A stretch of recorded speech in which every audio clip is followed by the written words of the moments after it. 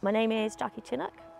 I'm from Plymouth in Devon and I've been fostering for seven and a half years. It's something that I've always wanted to do. Even when I was a child, it was something that I was interested in.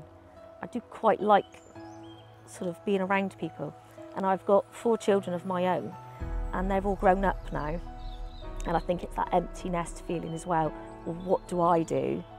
Now my children are independent as such it's just sort of seen the natural progression once our children were a bit older and we've just sort of carried on really and love it, absolutely love it. It's one of the best things I've ever done, in all honesty.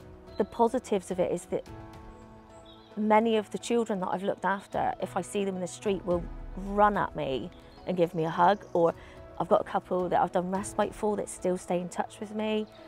Um, and I think that's the biggest compliment for me that they will remember me and say hi or give me a hug or and I don't think I could have asked for anything more. I would say just go with the flow. Look through their eyes and how they are and what they've been through and try to put yourself in that position to say, okay, so what would I be thinking and how where would I be reacting?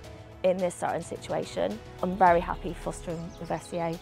The therapeutic side has always been a big pull for me from the very start and it was what brought me to FCA in the first place. I've always felt supported personally. I've always felt that I could ring somebody, whether that was another carer, whether it was out of hours, I've always felt like I have somebody there and it's nice because your social workers and your out of hours workers, they get to know you on a first name terms, especially when you ring a lot. Um, and I like that, that if I ring, they know who I am, and that's really important.